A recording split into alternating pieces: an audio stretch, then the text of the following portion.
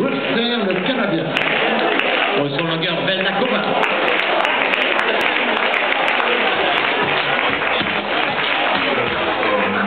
Elle est toute sa planche, la Slovaque.